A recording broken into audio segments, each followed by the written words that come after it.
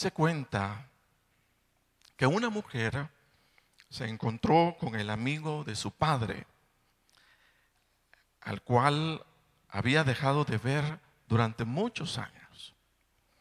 Se trataba, dice, de un caballero que se había alejado de su, de su familia y se había entregado por completo a ganar dinero, a ganar plata, a hacer toda una, una fortuna. Aspiración dice que había conseguido con, con los años, pero que aún con toda la riqueza alcanzada, era muy notorio en este hombre la tristeza que reflejaba cuando se trataba de ver el futuro o cuando se trataba de pensar en la esperanza que gobernaba su corazón de aquello que venía por delante.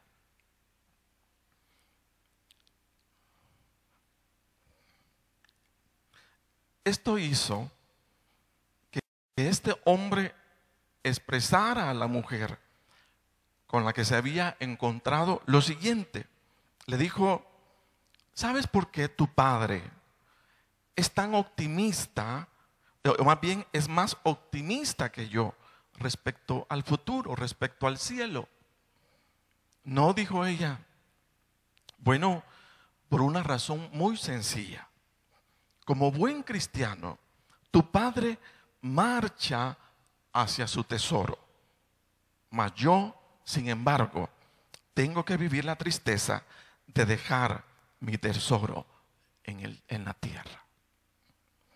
Yo le pregunto a, usted, ¿usted está esperando ir a, su a, su tesoro o está triste porque va a dejar el, el suyo? Cuando el hombre, oiga bien, pierde la conciencia de la eternidad, el hombre pierde por completo el propósito o el sentido de su vida. Y aun cuando tuviera la oportunidad de alcanzar en vida física el éxito o la riqueza, nada de estas cosas le serían útiles cuando se trate de entrar al descanso del Señor y recibir del Señor su recompensa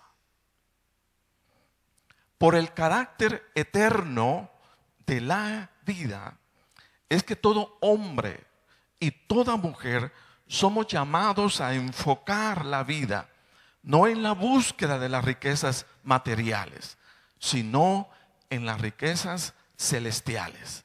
¿Qué dice la palabra del Señor? Oiga lo que, dice, lo que dijo el Señor Jesucristo.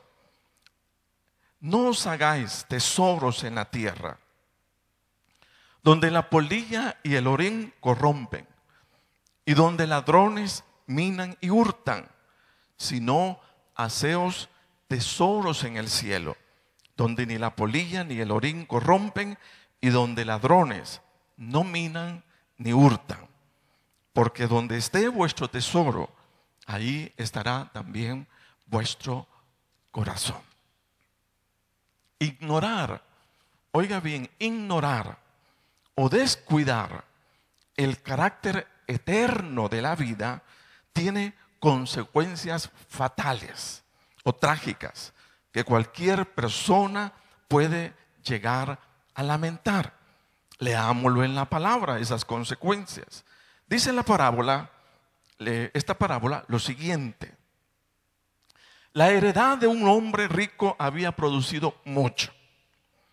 Y él pensaba dentro de sí, diciendo, ¿qué haré?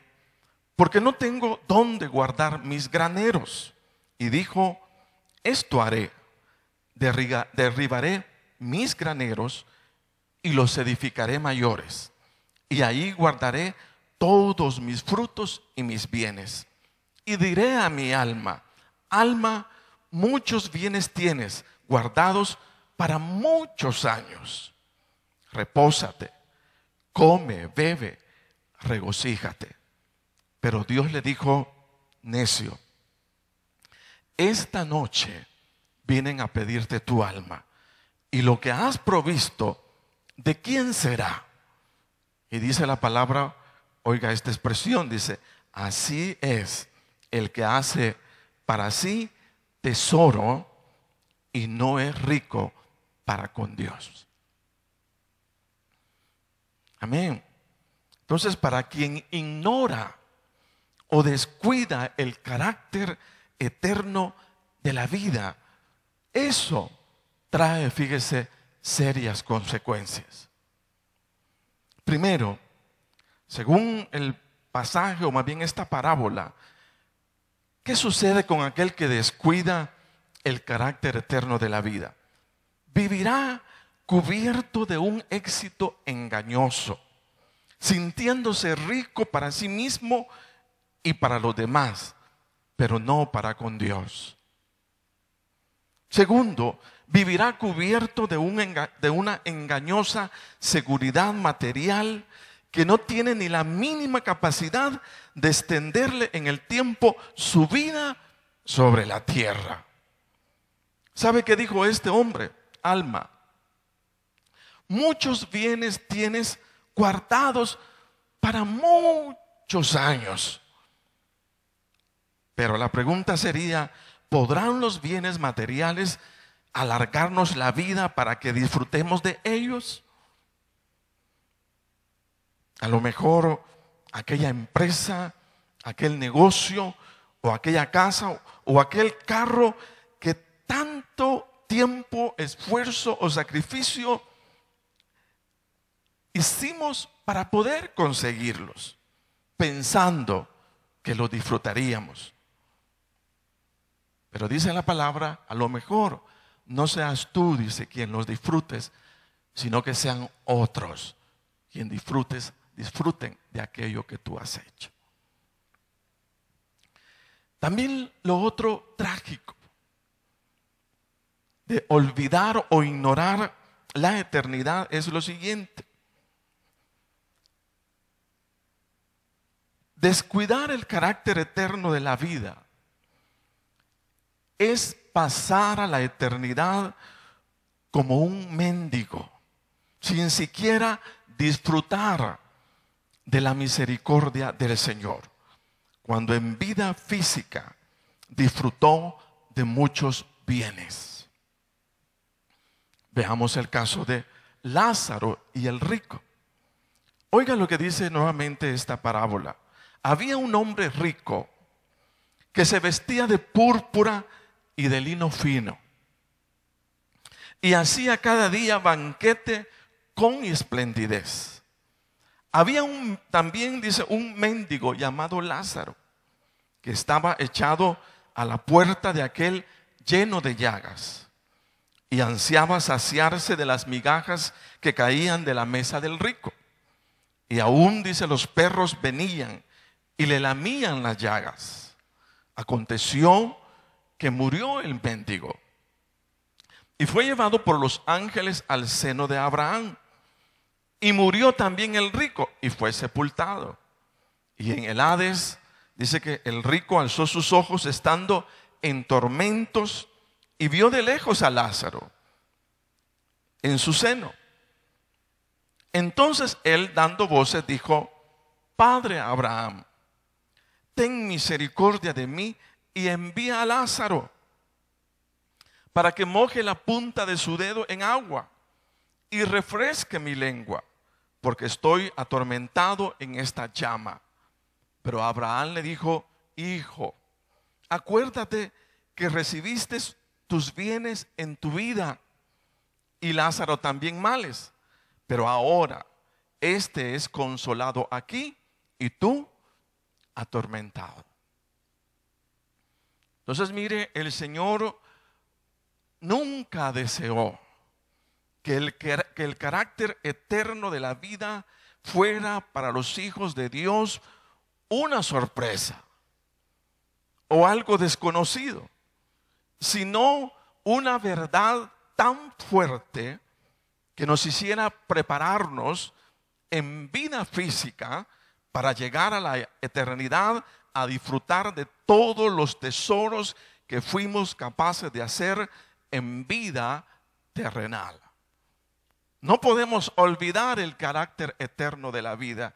Tenemos que tenerlo siempre presente. ¿Por qué? porque eso, fíjese bien, traerá propósito y traerá sentido a nuestra vida sobre la faz de la tierra. Se cuenta que hace algún tiempo el famoso predicador Carlos E. e. Fuller o Fuller anunció en su iglesia que el próximo domingo predicaría sobre el cielo. Durante la semana, dice que recibió una hermosa carta de un, eh, de un fiel anciano de su, iglesia, de su iglesia, quien estaba muy enfermo. Parte de esa carta decía, el domingo, domingo próximo usted hablará acerca del cielo. Permítame decirle que yo estoy interesado en este país porque mantengo un título de propiedad en él por casi 55 años. No la compré, me fue dada sin dinero y sin precio. Pero el dador la compró para mí al precio de un tremendo sacrificio. No tengo esta propiedad con motivo de especulación, ya que el título es intransferible. No es tampoco una propiedad vacía, pues por más de medio siglo he estado enviando materiales al más grande de los arquitectos, quien ha estado preparando para mí en esta tierra un hogar que no necesita ser reparado o reconstruido. Las termitas, dice, no pueden minar sus fundamentos porque está enclavada en la roca de los siglos. El fuego no la puede destruir, las inundaciones no pueden alcanzarla. No hay cerraduras en sus puertas, pues ningún malhechor puede entrar allá. Espero, decía el anciano, oír su sermón acerca del cielo el próximo domingo, aun cuando no estoy seguro de poder hacerlo. Mi billete al cielo no tiene fecha de ida ni regreso. Sin embargo, yo estoy listo para partir cualquiera sea el momento. Entonces, cuando hay conciencia del carácter eterno de la vida y de la oportunidad que tenemos de levantar desde la tierra tesoros en los cielos, la vida de las personas y principalmente de los creyentes cobra sentido. Y cobra sentido cuando se llega a entender que el tiempo para levantar riquezas en el cielo desde la tierra es corto. Diga conmigo, corto. ¿Qué dice la palabra respecto a la vida? Dice Santiago, porque ¿qué es vuestra vida? Ciertamente dice, es neblina que se aparece por un poco de tiempo y luego se desvanece. También el Salmo 103.15 dice lo siguiente, el hombre como la hierba son sus días, florece como la flor del campo que pasó el viento por ella y pereció, y su lugar no la conocerá más. Entonces una de las cosas en la que la palabra de Dios enfatiza respecto a la vida es que la vida es cortísima, bien corta. Yo creo que todos los que tenemos ya pues algunos años, sabemos perfectamente que eso es verdad. Eso es cierto. Los años transcurren tan rápidamente que ni siquiera nosotros los percatamos.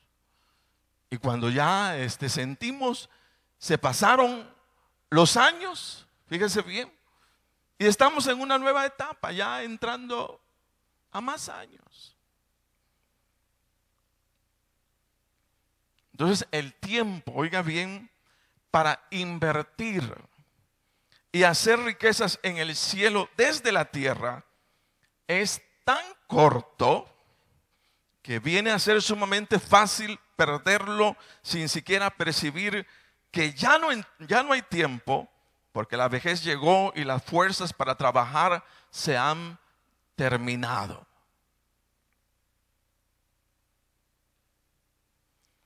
Entonces una buena pregunta que, que surge es, hermano, ¿y cómo hago riquezas? ¿Cómo fabrico riquezas desde la tierra para que sumen allá en el cielo? ¿Cómo hago? ¿O cómo invertimos o hacemos riquezas en el reino en el reino de Dios. Es importantísimo que veamos el carácter eterno de la vida y que captemos y entendamos que nuestra vida sobre la faz de la tierra es corta y tiene propósitos, fíjese bien, fuertísimos. Y uno de esos propósitos es que desde la tierra podamos hacer tesoros en los cielos. Diga conmigo, desde la tierra yo puedo hacer tesoros en el cielo. ¿Cómo invertimos o hacemos riquezas en el reino de Dios? Número uno, oiga bien, y son grandes privilegios grandes oportunidades que nosotros tenemos en, vida física que necesitamos recordarlos y necesitamos siempre tenerlos presentes. Porque de repente este, no captamos o no, o no entendemos por qué. ¿Por qué tengo que hacer algunas cosas? Y muchas de las cosas que tenemos que hacer sobre la faz de la tierra tiene que ver con el hecho de que la vida es eterna. De que la vida no culmina con la muerte, sino que algo, hay algo mucho más grande que nos está esperando. El famoso Rick Warren en su libro La vida con propósito dice que eh, la vida sobre la faz de la tierra es como la etapa, dice, del calentamiento en un equipo. El verdadero juego, dice él, no se libra acá en la tierra. Dice que el verdadero juego nosotros lo vamos a vivir allá. Y que esta, la vida física, solamente es una etapa de calentamiento, porque lo bueno viene inmediatamente nosotros dejemos la faz de la tierra. Entonces, ¿cómo invertimos o hacemos riquezas en el reino, en el reino de Dios? Son cosas tan fáciles pero es, es bueno verla de esa forma o de esta, de esta manera. Porque la palabra de Dios nos manda a hacer tesoros, dice, en los cielos. Número uno, sirviendo en la obra de Dios. Sirviendo en la obra de Dios. Cuando nos damos a la tarea de poner nuestros dones, nuestros talentos, nuestras capacidades al servicio de la obra de Dios y lo hacemos, fíjese bien, de todo corazón como para el Señor y no para los hombres. Nuestra cuenta de ahorros celestial está recibiendo desde el cielo depósitos bancarios que suman a nuestro tesoro eterno. A todos nos gusta ir al banco y sobre todo llevar este, una buena cantidad de, dinero y poder guardarlo. Y sabemos que eso es un, buen soporte, sobre todo cuando se trata de salir de aquellos momentos sorpresivos o difíciles de la vida.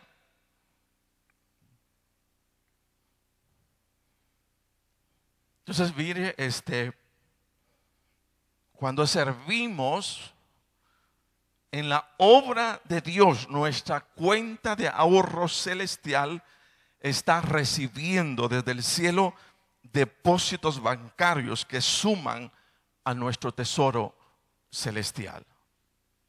Recordemos que dentro de la justicia divina hasta aquellos actos que pudiéramos considerar insignificantes humanamente, cuentan delante del Señor, como para agregar más riqueza a nuestros tesoros celestiales. Oiga lo que dice la palabra de Dios. El que recibe a un profeta por cuanto es profeta, recompensa de profeta recibirá. Y el que recibe a un justo por cuanto es justo, recompensa de justo recibirá.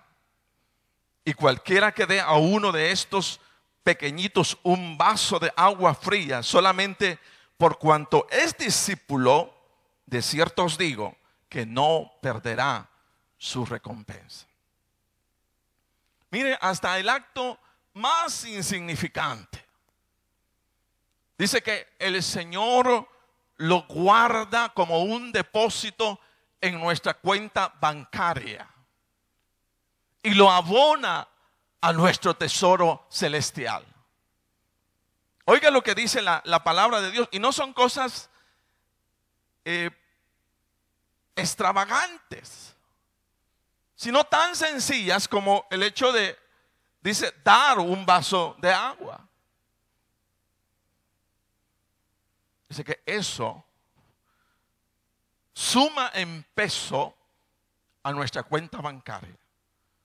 Porque lo hemos hecho en el nombre del Señor.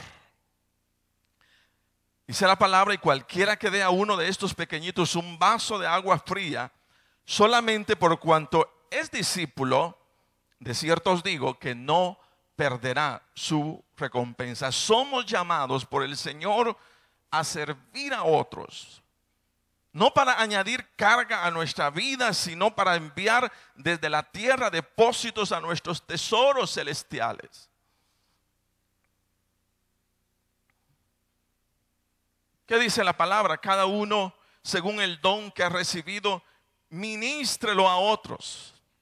Para buenos, dice, como buenos administradores de la multiforme gracia de Dios. En Hebreos dice, porque Dios no es injusto para olvidar vuestra obra y el trabajo de amor que habéis mostrado hacia su nombre, habiendo servido a los santos y sirviéndoles aún. Entonces, una manera de hacer depósitos a nuestra cuenta celestial es sirviendo al Señor en vida física.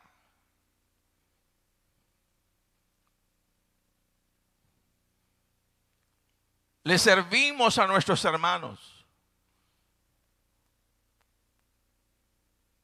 Pero ese es un depósito. Ese es un depósito, fíjese bien, es como que nos presentáramos al banco y entregamos nuestro dinero para que lo sumen a nuestra cuenta. Es exactamente lo mismo sirviendo a otros, es que es añadida a nuestra cuenta bancaria celestial. Entonces una manera de hacer llegar tesoros a los cielos a través de la, estando en vida física, es sirviendo al Señor. Muchas personas pasan por las iglesias por años. Sirven por algún tiempo y luego dejan de, de servir. Pero déjeme recordarle en esta mañana que el servicio al Señor es importante. Es muy importantísimo. Porque nuestro servicio agrega o suma a nuestra cuenta celestial. Por tanto, debo considerar el servicio como un alto privilegio, como una gran oportunidad que tengo en la tierra para sumar tesoros en el cielo. Dígale a su vecino, tenemos que servir al Señor. debemos servir al Señor.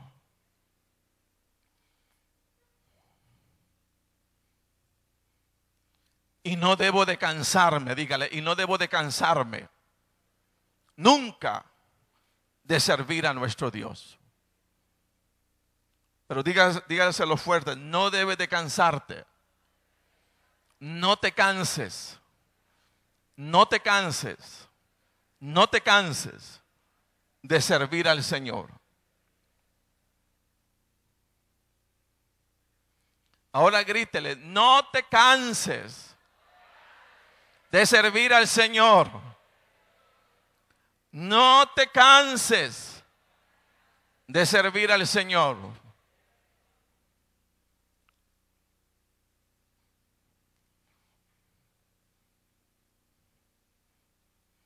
La abuelita de, de Sonia murió a los 96 años aproximadamente. Toda su vida sirvió al Señor, hermana Tonita. Pero una de las cosas que ella hacía, fíjese, todos los domingos, en la mañana iba a la iglesia. Y en la tarde salía a recoger a todos los, los niños de su vecindario donde ella, ella vivía. Los reunía y les trasladaba cuántas lecciones bíblicas ella podía. Y era una devoción de todos los domingos todos los domingos.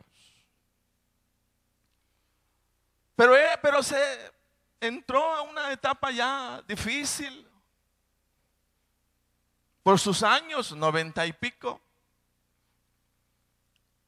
Pero recuerdo que ella decía y le contaba a Sonia, fíjese que todavía estoy dando clase a sus 90 años.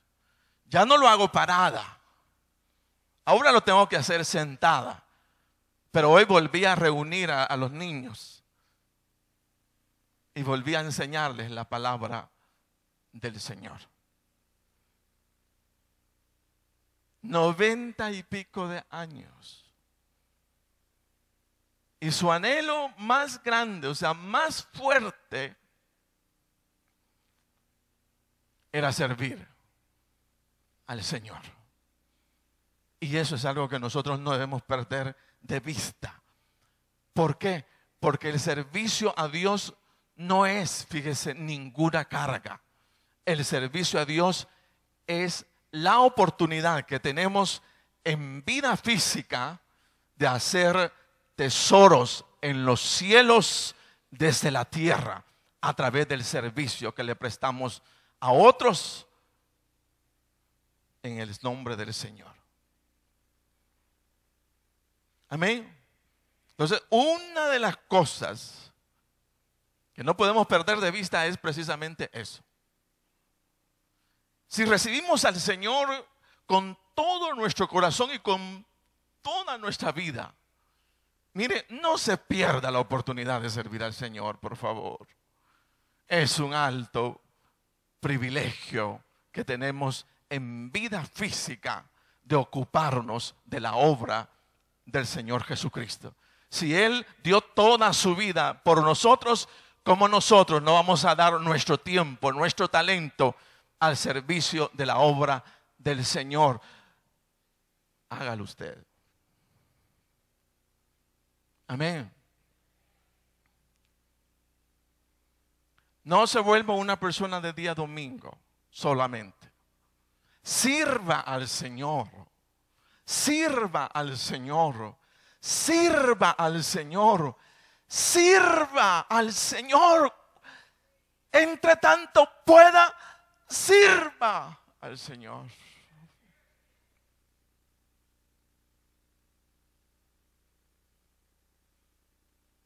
Porque son tesoros en el cielo que hacemos desde la tierra. Amén. Entonces sirvamos al Señor. Sirvamos a nuestro Dios. La otra cosa con la cual invertimos o hacemos riquezas en el reino de Dios es cuando practicamos la generosidad. Cuando nuestros recursos materiales o de dinero, en lugar de convertirse en un instrumento que nos separa de Dios, son usados para mostrar el amor del Señor en la vida de otros o para extender el reino de Dios sobre esta tierra.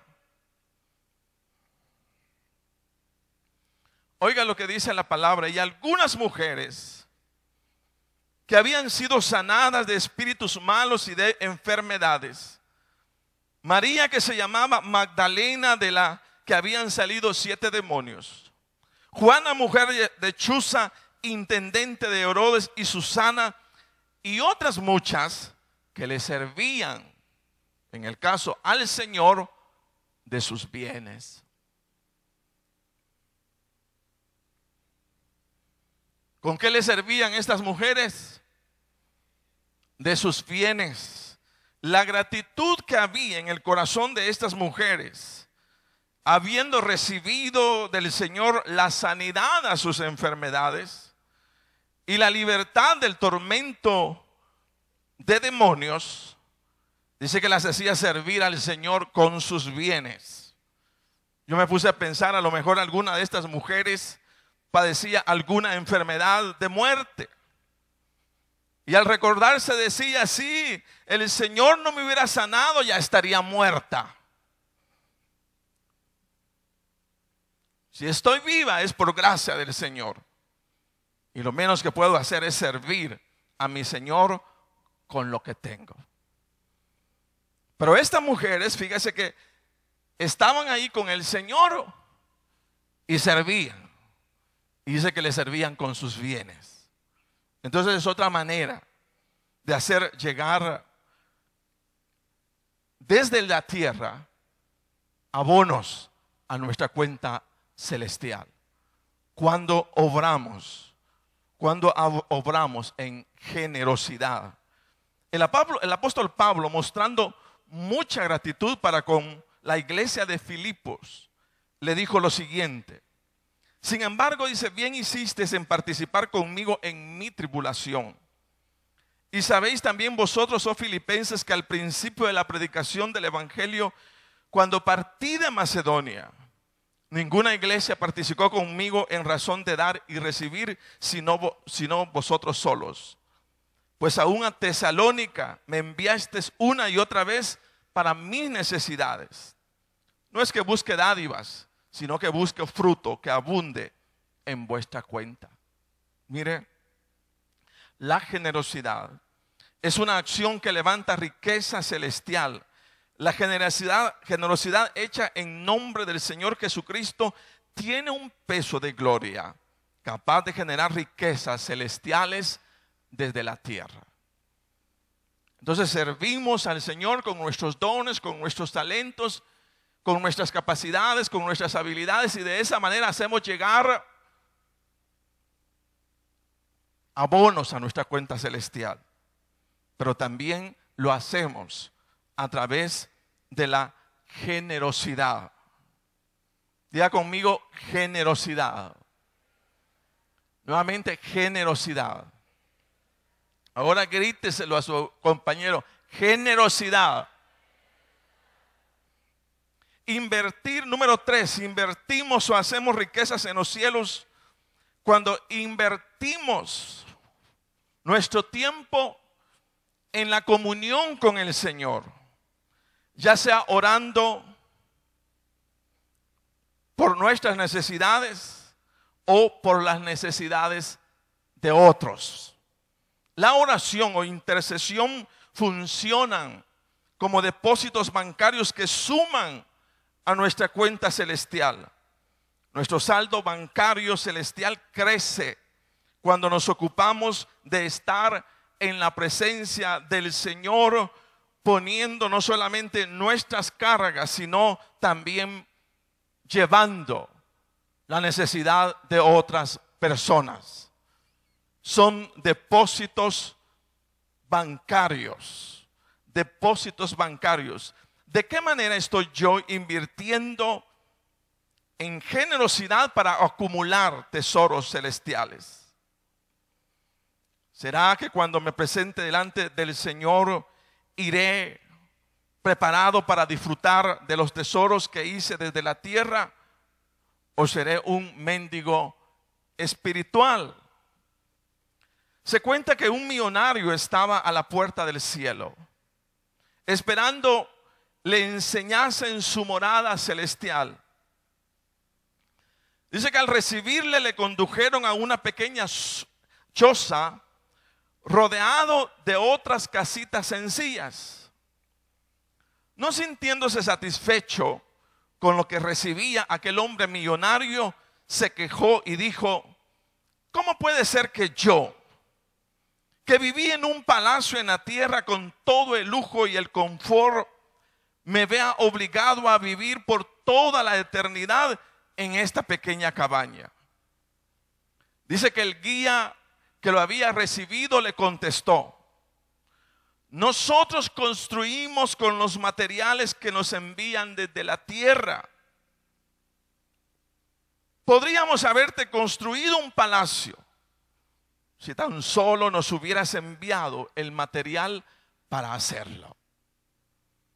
Y la pregunta en esta mañana es, ¿estamos cada uno de nosotros enviando el material necesario al cielo para que cuando lleguemos, lleguemos para disfrutar lo que hemos acumulado en vida física a través de nuestras acciones, a través de nuestro servicio, a través de nuestra generosidad, a través de la oración, a través de todo aquello que muchas veces nosotros, lo tenemos no en gran estima, sino en una carga. Pero que es precisamente lo que abona, fíjese, para que cuando vayamos allá nos encontremos con una morada lindísima que cada uno de nosotros preparamos, levantamos a través de nuestros actos. La vida, hermanos, tiene sentido, muchísimo sentido. Y tiene sentido a partir del hecho que entendemos que el carácter de la vida es eterno y que la vida no culmina con la muerte, que es importante prepararnos en vida física para todo lo que vamos a vivir estando con el Señor. Póngase de pie.